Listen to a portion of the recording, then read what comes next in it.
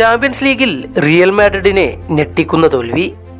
രണ്ടിനെതിരെ മൂന്ന് ഗോളുകൾക്കായിരുന്നു റിയൽ മാഡ്രിഡ് പരാജയപ്പെട്ടത്.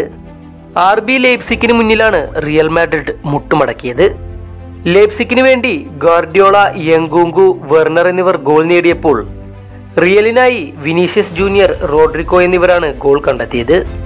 ഈ മത്സരത്തിൽ റിയൽ മാഡ്രിഡ് തോൽവി വഴങ്ങിയെങ്കിലും പത്ത് പോയിന്റുമായി ചാമ്പ്യൻസ് ലീഗ് ഗ്രൂപ്പ് എഫിൽ റിയൽ മാഡ്രിഡ് തന്നെയാണ് ഒന്നാമതുള്ളത്. ലേപ്സിക് ആകട്ടെ ഒൻപത് പോയിന്റുമായി രണ്ടാം സ്ഥാനത്തും. അതേസമയം ചാമ്പ്യൻസ് ലീഗിലെ മറ്റൊരു മത്സരത്തിൽ യുവൻഡസ് ബെനഫിക്കയോട് മൂന്നിനെതിരെ നാല് ഗോളുകൾക്ക് പരാജയപ്പെട്ടു. ഈ തോൽവിയോടെ യുവൻഡസ് ചാമ്പ്യൻസ് ലീഗിൽ നിന്നും പുറത്തായി.